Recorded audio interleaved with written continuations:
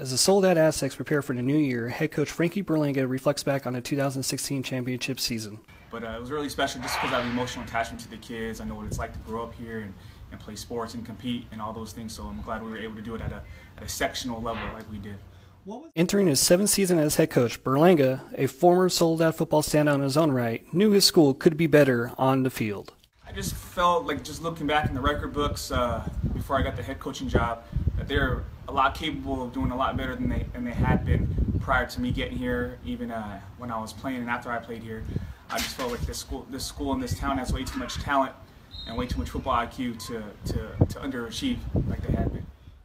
Berlanga said in order for his team to be as successful as possible, he had to make sure he surrounded his student athletes with the best possible staff he could Right.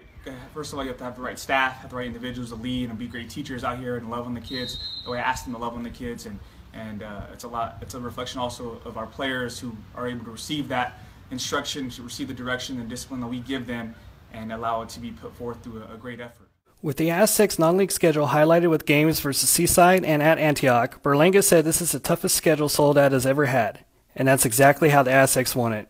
With the Salinas Californian Sports, this is Quinn Robinson.